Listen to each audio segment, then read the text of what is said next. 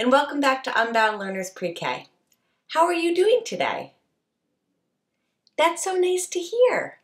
Are you ready to get started with our good morning song? Let's make our arms out like airplane wings first to stretch. Stretch those airplane wings. Now make those airplane wings into a big circle out in front of you like this. Stretch that circle up, up, up over your head and give a little stretch from one side Stretch over to the other side. One last stretch to the top and bring the circle right back in front of you. And now it's time to sing together. Good morning, dear earth. Good morning, dear sun. Good morning, dear rocks and flowers, everyone. Good morning, dear beast and birds in the trees. Good morning to you and good morning to me. Good morning, friends. I hope that you all are having a wonderful day so far. Let's get started with circle time. Now, the first thing that we do is begin with the date. And when we say the date, we start off up here with the month. This month is almost over. Do you know what the month is? March, that's right. The month is March, and today is March 25th. So let's move the chip over from yesterday. Yesterday was March 24th, and today is March 25th, and right up here we have the year. If you know what the year is, you can say it out loud with me. 2021. That's right, friends. So let's say the date one more time, all together. Are you ready? Today is March 25th, 2021. Okay, friends, let me see those counting fingers like this. Warm them up and give them a big stretch. We have lots and lots of counting to do because we are going to count all of the days that we've had in the month of March. So not only do we need to have our counting fingers nice and ready, let's also take a deep breath together. We are going to breathe the air in through our nose like this and out through your mouth. One more deep breath together. Counting fingers ready. Let's start at the number one, two, three, four, five, six, seven, eight, nine, ten, eleven, twelve, thirteen, fourteen, fifteen, sixteen, seventeen, eighteen, nineteen, twenty, twenty-one, twenty-two, twenty-three, twenty-four, twenty-five. Whew, we counted 25 days in the month of March. Friends, I need to see your fingers again. But instead of just one counting finger, we are going to sing the Days of the Week song. So how many fingers do we need for that next song?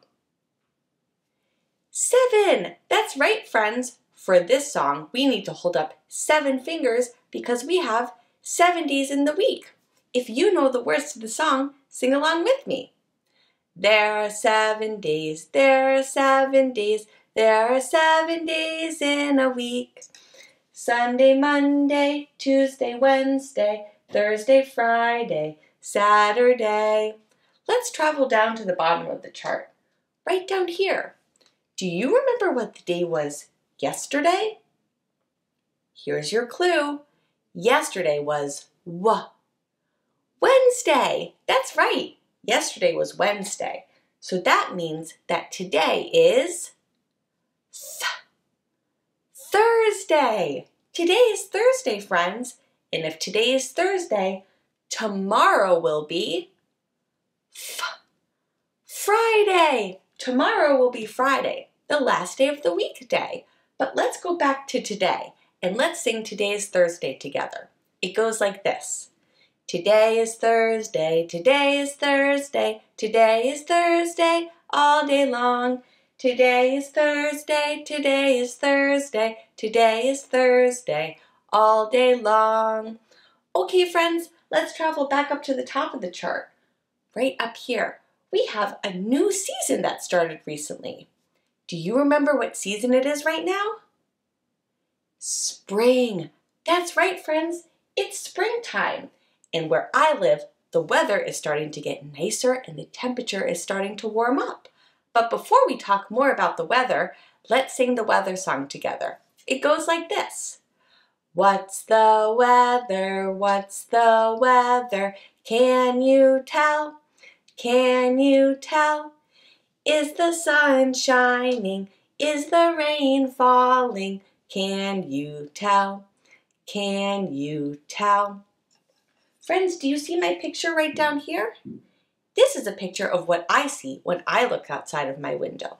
So right now, when I look up in the sky outside of my window, it's gray and white. It's a cloudy day where I live. I wonder if it will start to rain later. Right now, it's only cloudy. And my temperature chart is on orange because it's pretty warm where I live. It's a warm, cloudy day. Maybe it will be rainy later. What's the weather like where you live? Look outside your window and let me know what you see. Thanks for sharing the weather with me. Let's move on to the letter and the number of the week. This week, we have been learning about this letter. This letter says L, L. Can you make that sound with me? L, L. And do you know what letter this is? L. That's right. This is a lowercase l, and L says L, L. Let's guess what's inside of the letter box today. I wonder what we'll find. Inside of this box, I have something that starts with the letter L. L. Here's your first clue, and if you think you know what it is, you can take a guess. This is a type of a citrus fruit, and this citrus fruit is the color yellow and can be pretty sour. Do you think you know what it is? Let's take a look.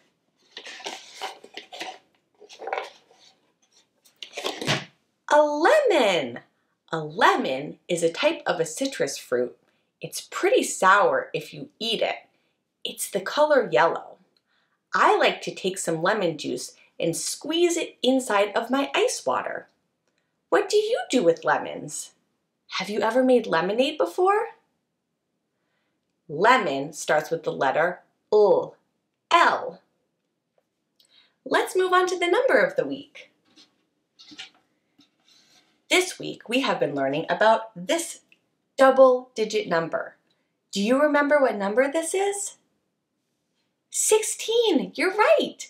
This is the number 16. And 16 is a double digit number because when you write the number 16, you have to write two numbers. First, you write the number 1, and then you write the number 6, the number 16. Let's count 16 tally marks together. Are you ready? One, two, three, four, five goes across, six, seven, eight, nine, ten goes across, 11, 12, 13, 14, 15 goes across, and one more makes 16. 16 tally marks. And I wonder what we'll find inside of the number box to count today. Let's take a look. Ooh, I have all of these wood chips. Now remember friends, wood chips are just small pieces of wood that came from a large branch or a tree. Now, as you can see, these wood chips are a very similar color to the top of the box. So hopefully, as I count them, they won't camouflage or blend in too much and you can see them. Let's count together. One, two, three, four, five, six, seven, eight, nine, 10, 11, 12, 13, 14, 15, 16. 16 wood chips. Now that we've gone over the letter of the week and the number of the week, it's time to go over the sign of the week. And this week, we've been learning how to say the word thank you in sign language. Do you remember how to say thank you? That's right, friends. Thank you. Let's say thank you one more time. Watch my hand. Thank you. Okay, friends, are you ready to guess today's community helper? Here's your first clue. This community helper works with books. This community helper works in the library, and the name of this community helper starts with this letter, the letter L, which is the letter of the week. Do you know what today's community helper is? A librarian. A librarian works in a library with books, and librarian starts with the letter L, which is the letter of the week. I love going to the library to borrow new books, but let's take a closer look at a book. So right here, we have the cover of the book. On the cover of the book, you will find the title of the book or the name of the book. The title of this book is called My World. And on the bottom of the cover is the name of the author. The author is the person who wrote the story. So the author of this book is Margaret Wise Brown. And the illustrator of the book, or the person who drew the pictures, is Clement Hurd. Now, when you open up the cover of the book in America, you turn the pages to the left, like this. Sometimes pages will have numbers on the bottom. Sometimes the pages will have words. Sometimes the pages will have pictures. And sometimes you will have pictures and words on the pages. And when you get to the end of the story, this is the back cover of the book. This part of the book right here is called the spine. Now, books are so special and very fragile, so it's very important that you always handle them with care. Let's check out today's work. For today's work, you are going to be the author and the illustrator of your very own book. So in order to do that, let's go over the materials that you will need. You will need some paper, some markers, stickers, or any other craft materials that you choose to illustrate your book. Now, in order to bind the book or in order to secure the book together, you can use a stapler or a hole punch with some yarn. I decided to use one, two, three different color pieces of paper and fold them in half on top of each other like this. Now, in order to secure the book, we need to bind it. You can use a stapler, and I'm going to staple the side right down the middle like this. One, two, three. Now all the pages are attached together. Another option to bind the book would be to take all of your pages together and along this side you can use your hole punch and punch holes like this. One, two, and you can use a piece of ribbon or a piece of yarn and loop it through and just tie it together like this. It's completely up to you because you are the author and the illustrator of the book. So there are a couple of different options to bind the book. So once all of your pages and the cover are securely attached, you can illustrate the book. So this would be the front cover and inside are the pages.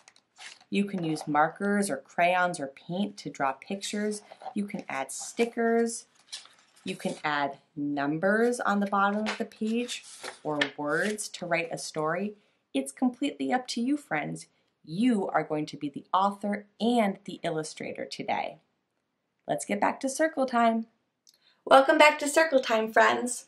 I would love to see the work that you create today as authors or illustrators. If you would like to share your work with me, have your grown-up send me a picture. Today we learned about a librarian, and a librarian is a community helper who works with books in a library. Thanks for learning with me today. If you haven't already, please subscribe to my channel. Give this video a big thumbs up and find me on OutSchool for my live and interactive classes. You can also support my channel by checking out my Patreon page and gain access to bonus features for your child. Before we go, we have one last song to sing. Can everybody wave goodbye like this? Goodbye, friends. Goodbye, friends. Goodbye, friends. I'll see you next time. Have a great day, everyone, and I'll see you tomorrow.